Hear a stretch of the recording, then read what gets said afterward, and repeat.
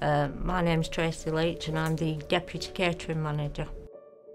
Basically, I run the kitchens, myself and my colleagues. We make sure that all the patients' uh, food is sent up on time, is like the correct temperatures, it's of a good quality, anything to do with food really. They're very patient focused since I came over to catering, that's what, it's not just a job to them. They do a fabulous job with catering. We might be not clinical, but this hospital wouldn't survive.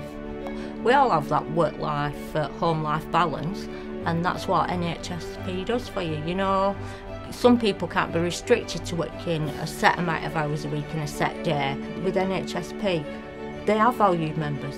They are part of the NHS. Just because they're NHSP doesn't mean that they're not the same as us. They're part of our team and that's how they're treated.